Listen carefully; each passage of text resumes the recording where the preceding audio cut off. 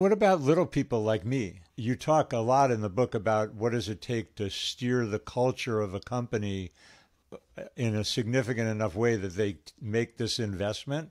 It's a big investment. It re- involves culture change, right? I would say not exactly because I've been an employee in big companies. I've worked with Fortune 100 companies and small companies. And here's what I know it's almost impossible to change culture. There's only one way to change culture, and that is the leader at the top. The leader at the top sets the tone for the company. There's no such thing as a grassroots cultural change. Your culture is your marketing. That's what shows up.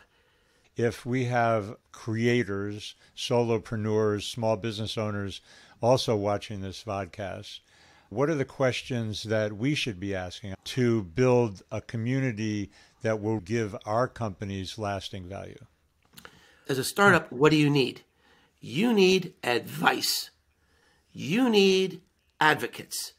You need people to test things and try to break it. That's just uh, an a, amazing strategy for an entrepreneur. Just get some people together and say, hey, let's work on this together and give me a little bit of your time and let's see if we can get this to work.